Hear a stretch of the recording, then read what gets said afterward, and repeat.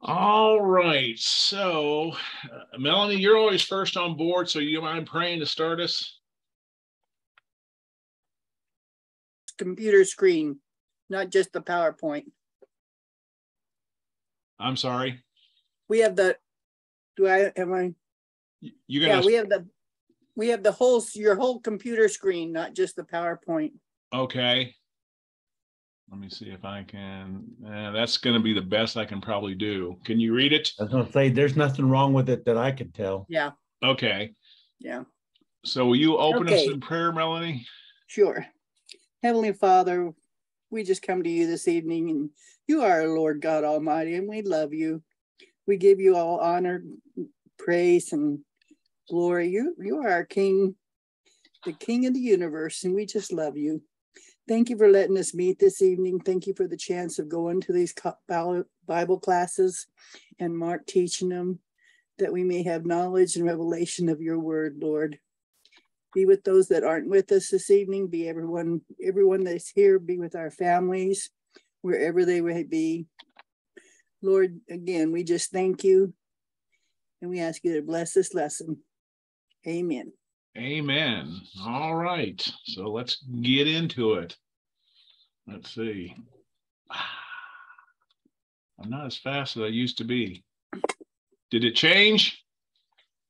yes Okay, again, uh, First Timothy. We're finishing First Timothy. I'm going to get out to you this week a review paper on First Timothy. It'll be doing about two weeks, and again, we're going to be more with the overview than specifics. Okay, we'll look at some things. Uh, chapter one, if you remember, was a charge of Timothy. First Timothy two is to pray for all. How do you pray? Prayer first. I went through this. Men and women the church, men everywhere lift hands. Women learn uh, qualifications for overseers. Uh, what to know was two weeks ago and the falling away and how to teach and lead and then uh, how to treat body members you know to the younger women as sisters etc today we're going to work at christians in the workplace. And a final charge is timothy as this ends the book. And so we'll begin there. So uh, courtney do you mind reading this slide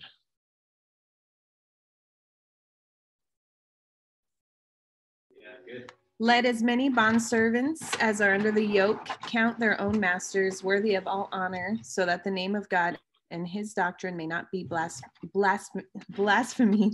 yeah I can't say that. And those who have believing masters, let them not despise them because they are brethren, but rather serve them because those who are benefited are believers and beloved. Teach and exhort these things.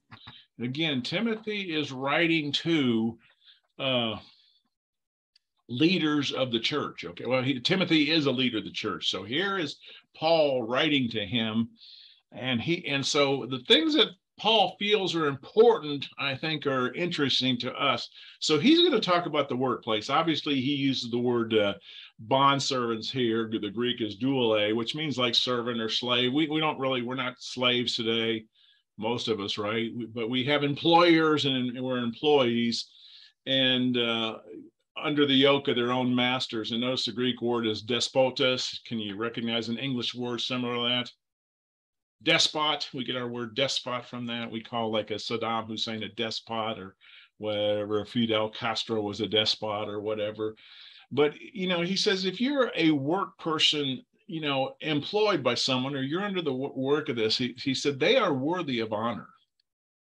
And, uh, uh, and if we don't honor them, you know, if, if I'm a Christian and I'm working in the workplace, you know, I again I work for a company called Dantex. The the the owner was a man named Farley Daniels. His son was Tyler. It was their company, and you know, people would say they don't run the company right. They don't run the. co-" And I said it's not Shoetex. It's Dantex. It's their company. They can run it however they want to run it. You know, if if I if I'm if I'm on risk on the bottom line, if the company goes broke, I go home get another job. They they they go in debt. You know, and so they are worthy of honor. If I'm a Christian, just just tearing into the boss and you know behind the back saying they're stupid, they don't know what they're doing. This com- company stinks. I hate this company. And how many have run into people like that? They're just downers and stuff like that. If we're believers, he says something here that we begin to blaspheme God and his doctrine. And, and, and really that word there is kind of like, you know, what we're saying, we're not a witness to those around us. You know, and I tried to be a witness at Dantex, you know, he was bipolar. He'd come in one day mad. He was mad at the estimator and he said, How about I fire the estimator and fire you? And it was like, Well, Mr. Daniels, that would not be my first plan. But you know, I, I need this paycheck actually to pay the mortgage. So I would hope you would not fire me. But, you know, uh, if I had been one constantly cutting them down, constantly saying stupid, and then said, "Oh, by the way, I go to church, and you should come visit me at my church," people are going to think, "Well, why would I want to be like you?" So, he, Paul feels it's an important thing as employers to honor their bosses okay? An honest day wait how many of us heard? Most of us again i'm probably speaking to the choir here most of us grew up with you know a day an honest day's work for an honest day's wages. Now again people have been abused at work and taken advantage of but he said you're supposed to honor your boss then he said if you have believing masters how many have ever worked for a believer i worked for a believer and he was kind of a pain in the neck honestly you know and i love him as a brother but he was a pain in the neck uh, let them not despise them, okay? Because sometimes we can get cross with our boss. He makes, you know, we need to work this Saturday. You know, we start selling a different product, and all of a sudden I had to come in every other Saturday. I was salaried, you know, but it was something you had to do because they are not only that, because they're brothers in the Lord. And uh, look who's benefited if we honor them. Be, believers in the beloved. It, again, if I'm not, if I'm not if I'm despising my Christian boss and bad mouthing him everywhere, I'm not benefiting other people. And again, he's going to tell, he's going to give Timothy a specific instruction teach these things and exhort these things. This is why we're doing this right now. This is why we're, I'm, you know, why we're doing this book right now. These are things Timothy's supposed to teach and exhort we last you know we're following this at our church and so saturday night what did I, oh i did on you know he who doesn't work doesn't eat the same thing we covered last week i said this is a, a tough teaching but there's a true teaching in here he says that we're responsible pay for ourselves he's saying this you got to honor your employer or you're not honoring god and if they're a believer you should really honor them and be supportive of them I would pray when I work for Lord, bless this company like you blessed Egypt under uh, Joseph. Bless this company like you blessed, you know, Babylon under Daniel. You know, and uh, that I might be lifted. Any questions or comments on that? Any experiences? You can go ahead, Maria. So I was reading somewhere that um, bond servant were slaves, or yeah, slaves who had already done their time and they would choose to stay with their masters and then they would um, they would receive like a ring i think on their ear mm-hmm. uh, left or on the right i don't remember but it was cool because i think i rem- i was trying to find the verse where i want to say one of i want to say it was paul that he calls himself was a bond servant of jesus christ and mm-hmm. so when i read what it was i was just like oh my you know, it's pretty neat. It's like yeah. he, he chose him, and so he would choose to stay with him, and for the rest of his life. And so I thought that was pretty neat. I like that. I I heard a guy once say he was a tough teacher, and he said, you know, you get these things in the mail. Mark Schumacher Power Ministries, Mark Schumacher Prophet Theologian, right? PhD, LLD, or whatever, and stuff like that. He goes, geez, Paul said, Paul, I'm a bondservant of the Lord Jesus Christ, you know. Yeah, there's a difference there. There's a humility there. And you're correct. What they would do, you could be a servant of someone. This is an Old Testament law.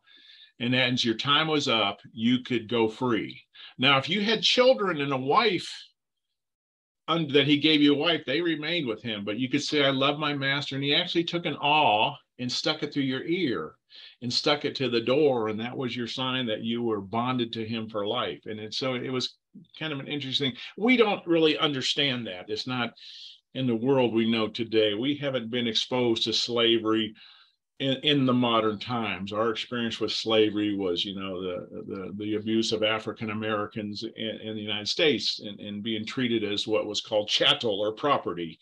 And uh, the, the, we looked the other way and you know congress congress said well they're not really people they're three-fifths of a people which goes back to the old testament too and stuff like that. But finally, we said, wait a minute, everyone's guaranteed life, liberty, the pursuit of happiness. But yeah, we don't own that. We're supposed to be bond servants of Christ, right?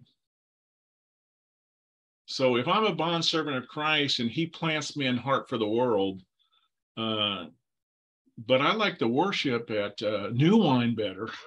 you know, I, I, I, joke North Americans, you know, we go, well, it, the services are more convenient for me. You know, it's a 10 o'clock service. I like the worship, you know, and stuff like that.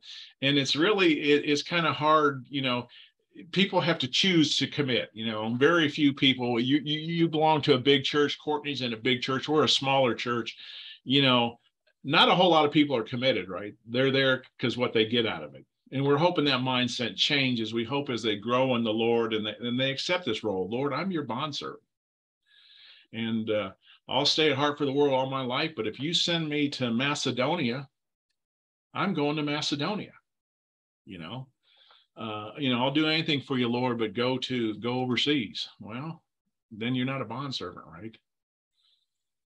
All right, that's my commentary for the day. Uh, let me see who's next on our list. Bruce, do you mind reading? If anyone teaches otherwise and does not consent to wholesome words, even the words of our Lord Jesus Christ, and to the doctrine which accords with godliness, he is proud, knowing nothing, but is obsessed with disputes and arguments over words from which come envy, strife, reviling, evil suspicions, useless wranglings, men of corrupt minds and destitute of the truth, who suppose that godliness is a means of gain. From such, withdraw yourself. Okay. He's teaching unless if anyone teaches otherwise otherwise than what? The teaching that he taught that that the gospel of Jesus Christ. yeah, and also he's just finished a paragraph talking about working, right? If anyone teaches otherwise, he's kind of finishing that thought. And I, I agree, we can say the gospel of Jesus Christ because we're going to look at this. But he goes, if people are teaching you anything different, they're not consenting to they're, you know they're they're not consenting to wholesome words even the words of our lord jesus and the doctrine of you know the way to live holy and this person is proud if they're teaching you something different paul you know he again he said uh, timothy teach and exhort these things and if anyone teaches otherwise they got a problem Okay. This is God's, doc- he's calling, you know, wholesome words, even the words of our Lord Jesus and the doctrine according to God. He is a proud, he knows nothing. So teaching, we had a lot of bad teaching back in those days we can see. We're going to look at this at the end and stuff and, and really something i want you to get out of first timothy. Uh, they know nothing but they're obsessed with disputes and arguments over words. Anyone ever been in an argument over a word with somebody? You know biblically what it means? I, I think i've shared with most of you have heard this before. I had a friend tell me they were at a bible study ordering arguing over a word and the lady two doors down tried to kill herself and they were just all humbled you know because here we were arguing what this word meant or not meant and the reality of life is happening and, and what is this thing so we're arguing about words uh, and stuff uh, and from that comes envy strife if we're not living this wholesome doctrine, right? How do we treat younger men? How do we treat older men? How do we treat younger women, older women? You know, how do we raise up elders in this church? How do we pray? If, if we don't do these things, they come come envy, strife, reviling, evil suspicions. You ever get the feeling they're against me? You know, geez, Dale didn't say hi to me when I walked in the church this morning. I tell people you can't read people's mind. Dale might have kicked the door as he came in by accident. He's, he's struggling not to scream, and you walk by and he didn't say hi. You know, you, you can't believe it. You useless wranglings, which he says is constant friction. Again, we all know those people everywhere they go is it's a whirlwind of headaches and uh, you know everything's a problem. Uh, people of corrupt minds, destitute of the truth. I love this. People destitute who suppose that somehow living this way godly is a means of gain. I wrote financial in your notes, financial gain, but it's not only that. I mean, people can try and get power through ministry. uh, and he's talking in the context of working. Well, I'm a believer. You should pay me more or whatever. And uh, to the truth, and they suppose they think suppose is a dangerous thing, right? Kind of like assume uh, godliness is a mean. What do you do with those people? You get away from them, Timothy you can't really hang around those people. They're they're going to feed you bad things, and and obviously, if you know, a lot of times, like we'll use teachings, uh, and they're good, but they're famous people's teachings, and they can make a lot of money. You know, if you make write a book and make a, a teaching, you can make a lot of money. And once you get known, people will say, "Oh, I'm going to use uh, you know so and so's book because she's good," and they make a ton of money and uh, again, no one's forcing you to buy it, so I don't have a problem with it and everything. But generally, uh, and and hopefully they haven't gone into this to make money and stuff like that. But he says there are some people that go into this to make money. There's been career religious people. You know, my grandparents did it. I did it. I'm going to take over the church, and this is how we live and stuff like that. Or you know, I'm going to be I'm gonna my ministry is gonna flourish and I'm I'm gonna be known or whatever. And it's not uh it's not what he says, it's not what the kingdom is about. So I'm going to go. Shotzi, do you mind reading this one? You're muted. Yeah. Okay. Um First Timothy 5, 6 through 9. Now, godliness with contentment is great gain. For we brought nothing into this world, and it is certain we can carry nothing out. And having food and clothing, with these we shall be content. But those who desire to be rich fall into temptation and a snare, and into many foolish and harmful lusts, which drown men in destruction and perdition. Mm-hmm. Well, this verse right here, number six, if you could write that, tattoo that on your heart, godliness with contentment is great gain. Living in the Lord and being content. Uh, are you content? Is it enough? You know, he told uh, when they asked John the Baptist, "What should I do?" He said, "You know, for the soldiers, be content with your wages."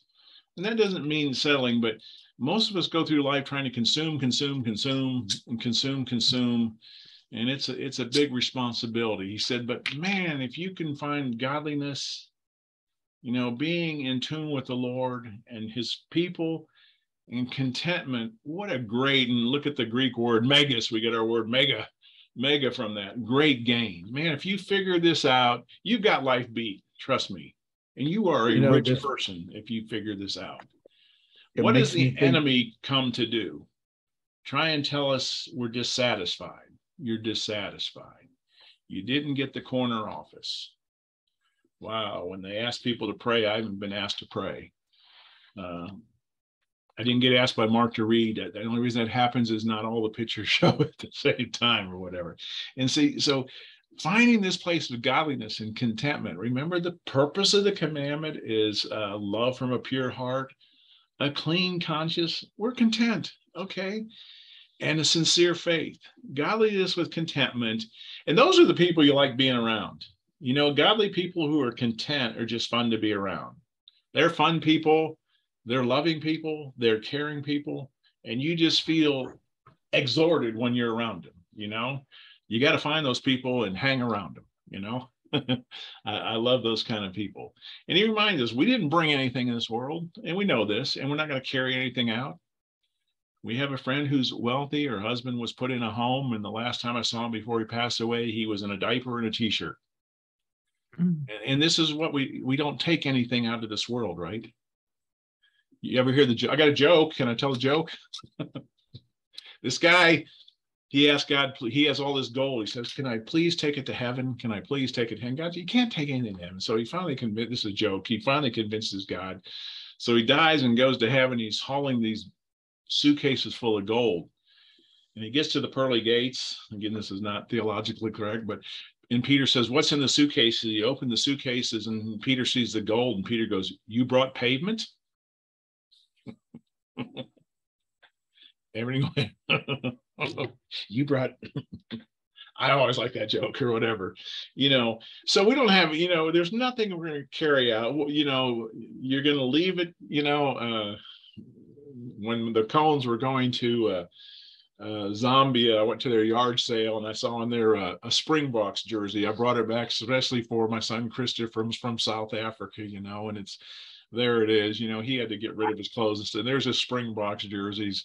And you, you, you know, most people don't, you know, so there are some heirlooms you get. That's not an heirloom, of course. You know, some heirlooms you might get in treasure and stuff like that. But really, most of the stuff that's important to me is not that important anyway. You're not going to have anything go with you. So, so you know, there's a there's a sobriety in this. Is what is the purpose? And and he says this: having food and clothing in these we need to be content. Notice shelter's missing. You know, we say having food, clothing, and shelter, be content. And and Jesus uh, said this to, in Luke. He said when uh, he said life is more than food, and the body's more than clothing. Don't you understand? These things are just you know you have to have food to live, and we kind of have to have clothes to get around. And uh, if you have those basic things, be content. I mean, God's blessed probably most of us with houses and stuff like that and, and vehicles to get around. But sometimes, uh, you know, the Cones haven't owned a house. They don't own a house, you know, and they've lived in different places, you know, and maybe one day they'll settle down and have a house, you know. that Sometimes you can go live for the Lord and and he takes you from place to place. And they had a pretty cool house in Zambia. I got to go see it. I love it, an awesome house, you know. Uh, but those, if, if, if you don't find this contentment, here's this problem with this contentment. The enemy's always coming in. He's telling Timothy, the enemy's coming in and going to tell you, and he'll fill you the desire to be rich. I can buy whatever I want to buy, you know. I need this. They can fall into temptation. There's a temptation go with that, right? Have you ever bought anything and it's come out your nostrils? You know you know the phrase come out your nostrils goes back to the the quail. We haven't had meat and so the lord said i'll give you quail and he said i'm going to send quail till you know this taste of it just comes out your nostrils you know you bought that expensive pair of pants or whatever or suit or whatever and the first time you wore it you spilled something on it and stained it you know or whatever. And we do this and we fall into these temptations and then then there's a trap that can come with this right? Uh, how many of us know you can get a big raise and your lifestyle just grows to that raise right?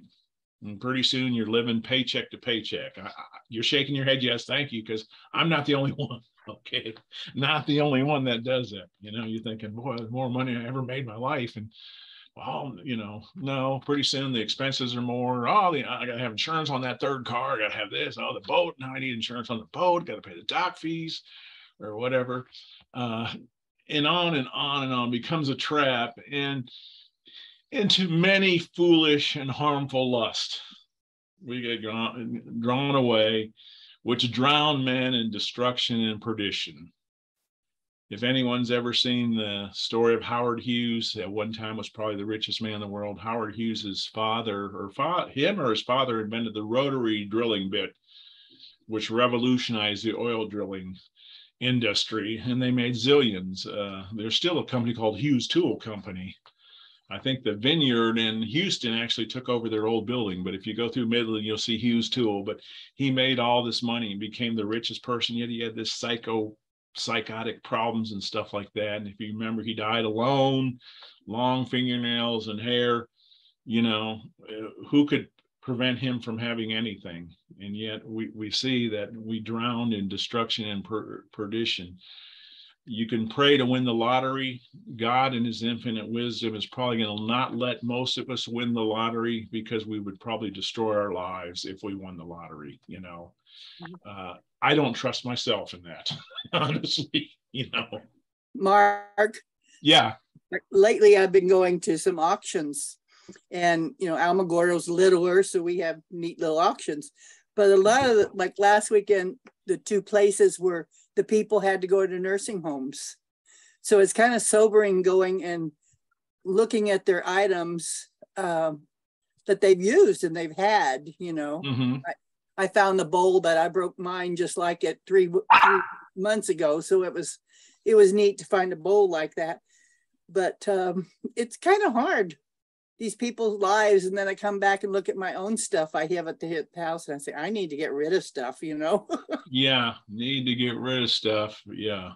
too much that's stuff. good, that's good wisdom. Someone shared that they were doing their uh, fathers and their mothers who died a few years before stuff and they had kept everything and they said don't do it to your kids you know we're having to go sort through all these papers and everything and yeah see my room here everything on the walls yeah that's what the whole house looks like yeah so courtney you can throw everything away you don't want okay when we're gone it's all right there's nothing special or heirlooms around here or whatever uh all right. Who is mine? Irma, do you mind? You got one verse, Irma.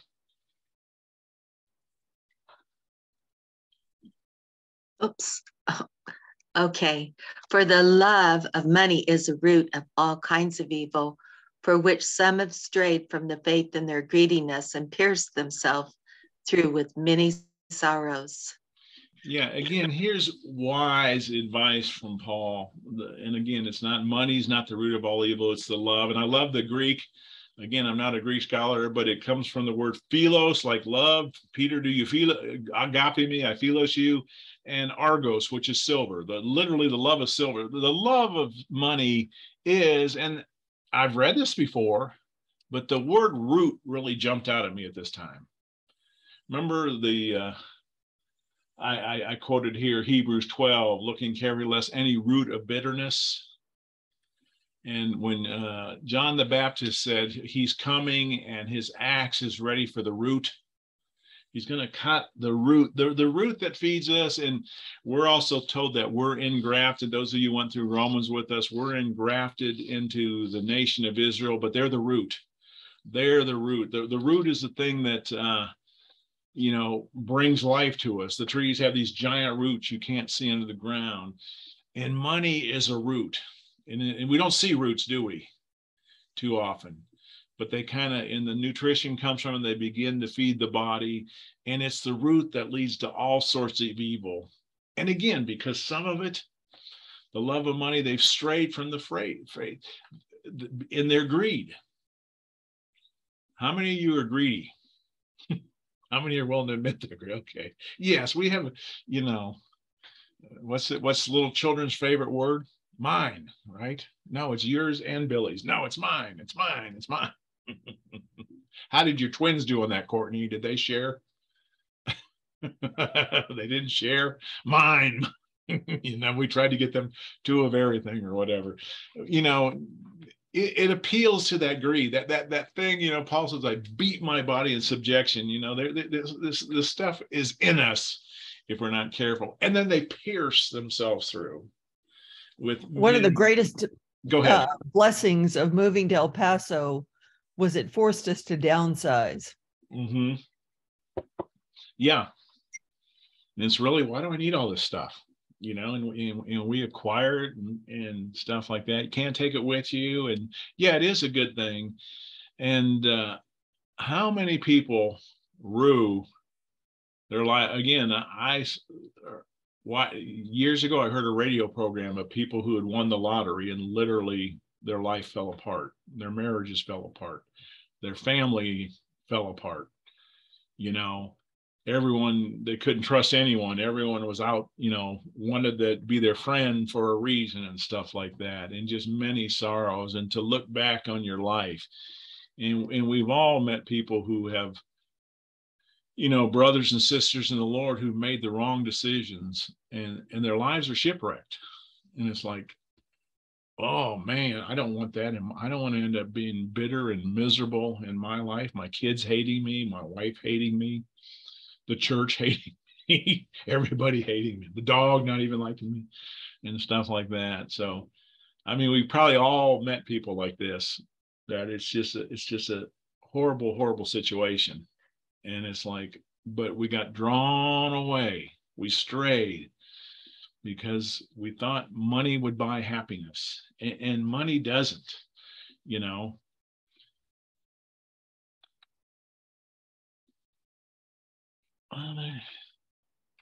All righty. So, Maria, do you mind reading? But you, O man of God, flee these things and pursue righteousness, godliness, faith, love, patience, gentleness. Fight the good fight of faith, lay hold, lay hold on eternal life to which you were also called and have confessed the good confession in the presence of many witnesses. Mm-hmm. But you, oh man, and again, eh, as I'm studying the Bible these days, verbs jump out at me. Here's a verb, but you, oh man, flee.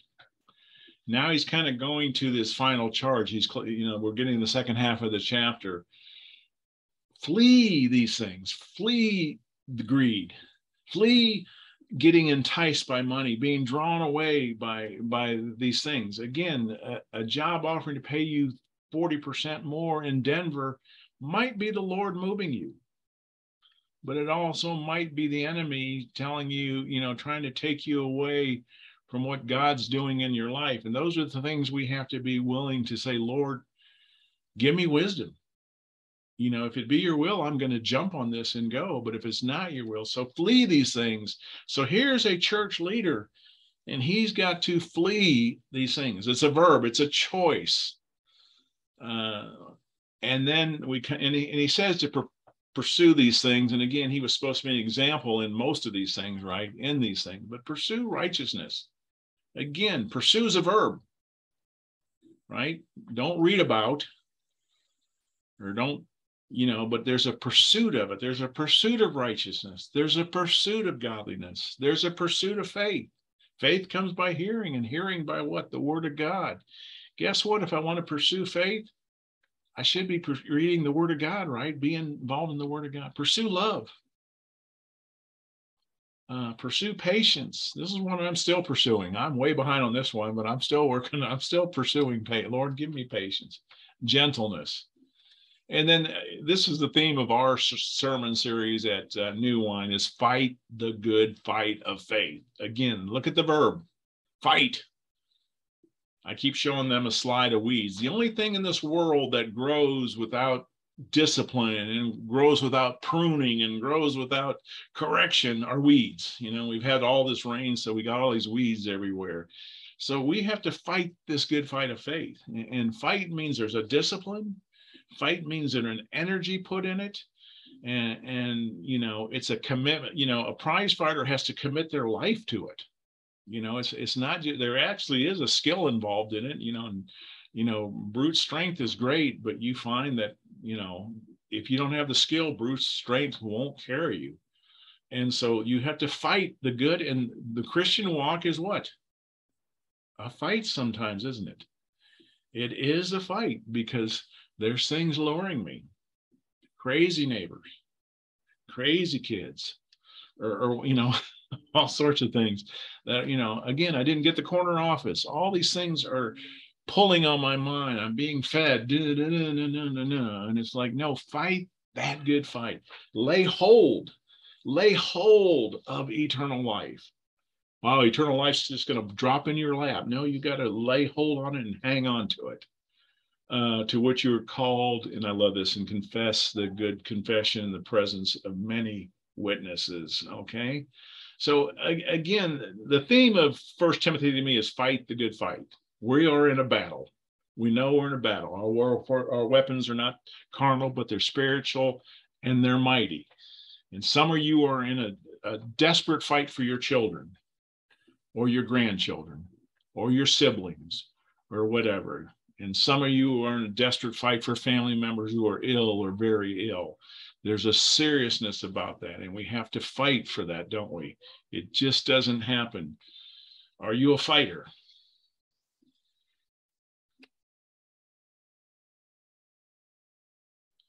All right. Monica? Sure. First Timothy 6, 13 through 16. I urge you in the sight of God, who gives life to all things, and before Christ Jesus, who witnessed the good confession before Pontius Pilate, that you keep this commandment without spot, blameless until our Lord Jesus Christ is appearing, which he will manifest in his own time. He who is the blessed and only uh, potentate.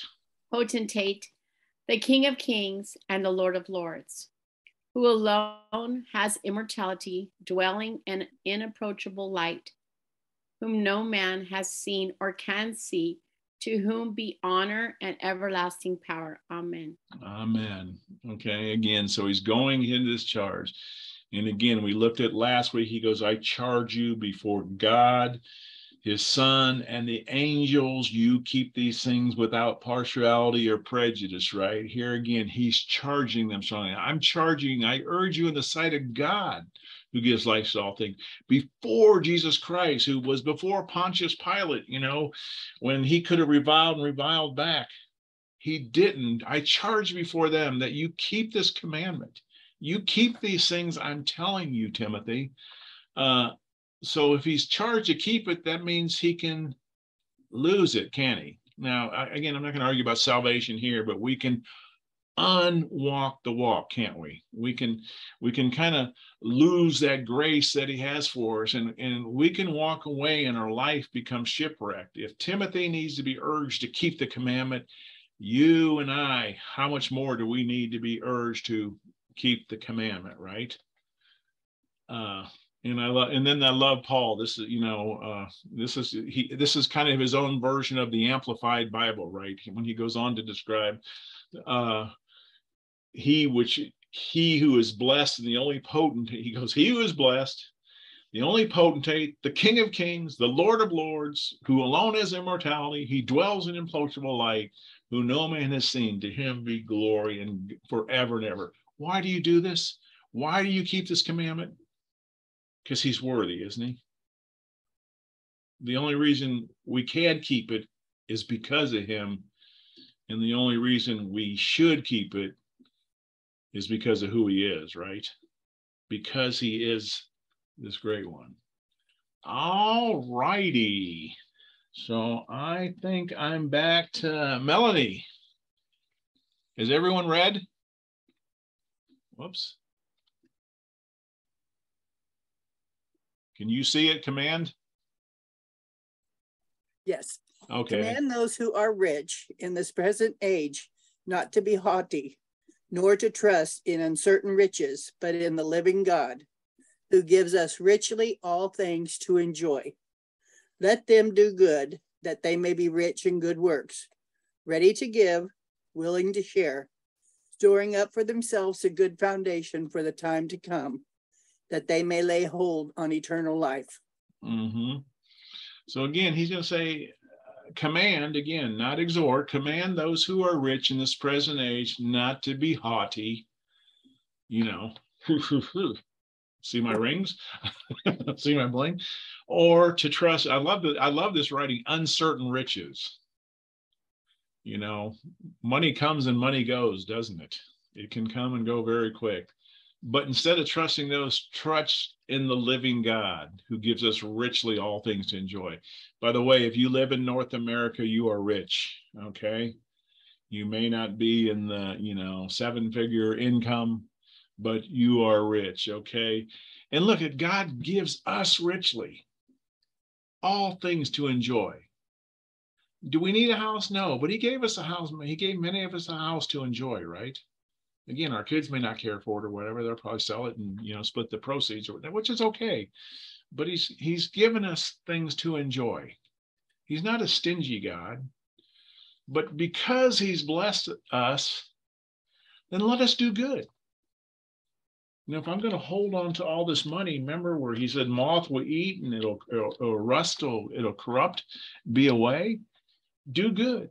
Be rich in good works ready to give, willing to share. One of our ladies at church who's a widow has a pretty decent income from her husband. We had a case years ago, our youth were going to Guatemala. And one girl had saved all of her money and she had it in her account with a debit card. And her little sister got a hold of her debit card and didn't realize what she's doing, but she spent $400 on video games on the phone. Anyone ever had that problem in their household? And so they put the money in her parents' account. Unfortunately, her parents are not fiscally responsible, and the bank took out another $600 for the car insurance they didn't pay. They had a car finance and they did not pay the insurance. And you know, when the bank takes out for your comprehensive insurance, it's not 150 a month. They took out $600. So it's a week and a half before these kids are going to go to Guatemala and she's not going, you know. And we prayed for a miracle for her. And we have a widow in the church that has a pretty neat thing. She said, I just feel God. And she didn't know the number or anything. She came in and gave a check for a thousand dollars. That girl got to go to Guatemala. And I got to see a picture of her on a swing in Guatemala reading her Bible, doing her morning devotion. And I was just so blessed that this widow was willing to share and that her faith carried her through. You know, it was just such a wonderful, and rich territory. Storing up for themselves a good foundation from time to time that they may lay hold of eternal. Do these things. You've been you've been given blessed. Be willing to share. If ever we um, feel like we're not very well off, it might be a good idea to remember that um, if you had a choice Mm-hmm. of what to eat for breakfast this morning, if you had a choice of what to put on this morning, Yeah.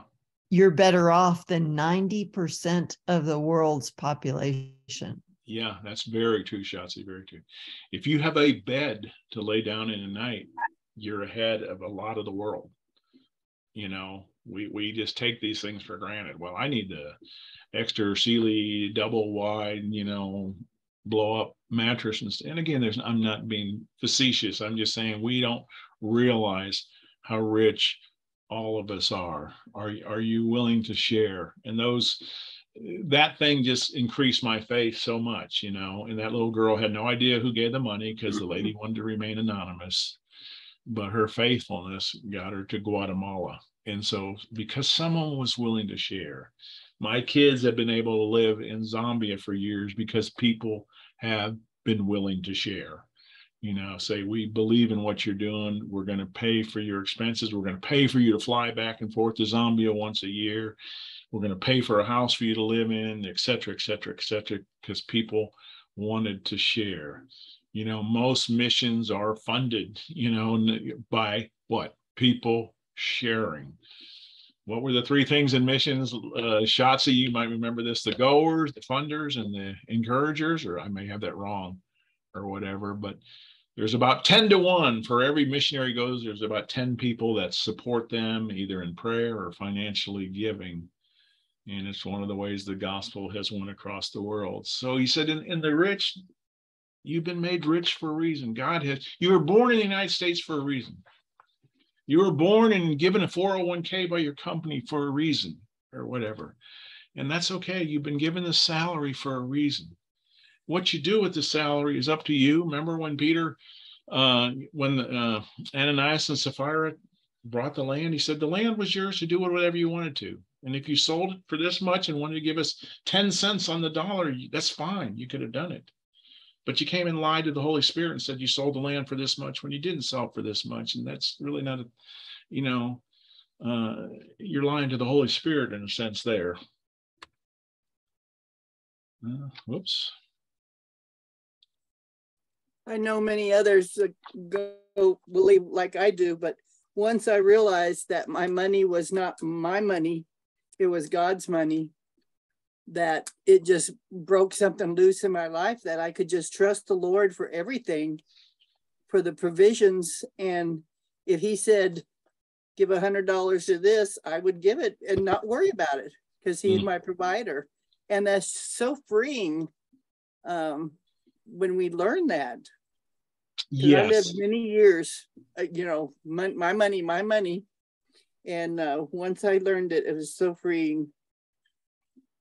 I fought tithing for years, guys. I don't know if any did. I fought tithing. Well, you know, I don't know if the church they're doing pretty well. Maybe I should give some to these guys and some to these guys. And finally, like you said, it's his money. Okay, I'm just going to give 10% to him. And if they, you know, this is what I believe I'm supposed to do. And if they misuse it, that's going to be their problem. And it all works out. And it does work out. It does work out. Uh, Praise God. amazing. All righty. Uh, one of the last slides here. So, Courtney, we're back to you. Oh, Timothy, guard what was committed to your trust, avoiding the profane and idle babblings and contradictions of what is falsely called knowledge. By professing it, some have strayed concerning the faith. Grace be with you. Amen. Mm-hmm. Again, Timothy, guard is a verb, right? You have to guard these things that and, and what's committed to you by God. We talk, you talked about the lay the gift of the laying on the hands by the presbytery or, or, the elders. You have these gifts. There's been things committed to you. You have a ministry. These things are committed to you, uh, committed to your trust by God. God has committed stuff to you in trust. You got to guard those things. You know, uh, when you begin to think ministry stinks, you have to be careful because we get tired and we're not running we're not when we begin or we're running on inertia. We're not being fed. We're not in his presence. And it begins to take a toll on us. And uh, we can lose the commitment. Oh god i got to go lead worship again you know you know i hope your worship leaders never show up you know i, I know annie uh, they were had some devastating news we, we meet on saturday had devastating news on a saturday morning and she had to come in and lead worship. And I said, Annie, it's a sacrifice of prayer tonight you have to give. But she did it. You know, it was her gift that God's given her. And of course, when she leads worship, my guy's going to testify the Holy Spirit shows up and stuff like that. We have to guard. I don't know how many ways to say what Paul's told First Timothy, it doesn't happen by chance, and you better hang on to it. You better lay hold of it and grasp it hard because it will slip out of your fingers faster than you can think of. Avoid idle babblings and contradictions, which are falsely called knowledge. Do you see that today? Yeah, it's everywhere, right? Uh, you can abort, we should be able to board up to birth there was a state they thought I, I read someplace was considering even you know past birth you know it's not going to pass we hope and stuff whatever but falsely called knowledge we were ministering a young guy the other night he's just a smart kid you know and his intellectualism is one of his hardest things with his faith but it's like god has given you that gift for a reason because the world's out there thinking they have knowledge and they need to be understand their knowledge is foolishness. The fool, you know, the, the, the, God's foolishness is wiser than the wisdom of man. And by professing this, you know, people handling this, they've strayed away from the faith. Well, you know, I started, and there's been so you've heard the term deconstruction. People begin to uh, question their faith and they begin to walk away from their faith. They call it deconstruction. And there's been people in the music industry, some in churches, have walked away from the faith. You see them on Facebook now. Boy, once they do, they the media loves them. Oh, tell us what's wrong with Christianity or whatever. And what happened is that you're going to see these things happen in their lives and they stray from the faith. Grace to you, amen. Uh, again, we we saw this as uh, again the things laying on of hands. I wanted to do a little personal thing here. Okay, this reminded me of this. I wrote Baal. Anyone ever heard of Baal? I was at a seminar one time and and you may have heard this and they said the problem with America today is the worship of Baal. People are worshiping Baal and everyone said amen, amen, amen and uh and then I found out you know how many times Baal's mentioned in the New Testament? You know how many times Jesus mentioned Baal? Zero. Zero. Yeah, how many times Timothy mentioned or uh, Peter mentioned Baal? Zero. Luke, Matthew, Mark, zero. Mentioned one time. Can you see that? Paul's making an odd reference. He's talking about uh, Israel, right? And that, uh, you know, even though they haven't come to the Lord yet, God's got a plan for them. And he said, and he says, what does the divine response say to them, you know, when uh, Elijah said, I'm the only one. He said, there are not seven, th- there are 7,000 that have not bowed their feet to Baal. This is the only time Baal's mentioned in the New Testament. And it's really not about the worship of Baal, right? So Paul was not concerned about the worship of Baal. Okay. What was Paul concerned about?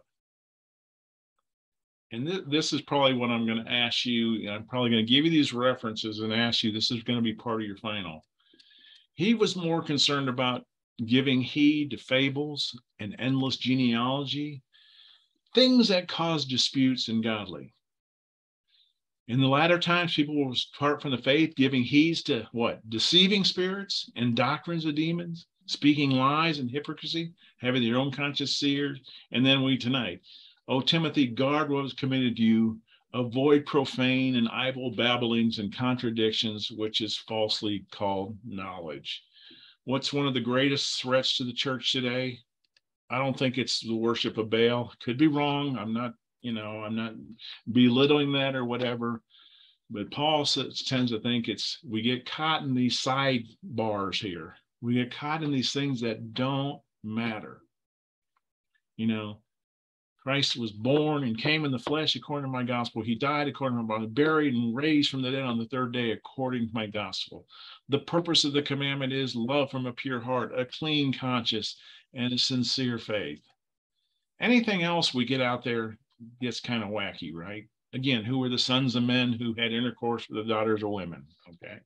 Where did Cain's wife come from? I don't know, or whatever. And we get off on these things, these things called wisdom.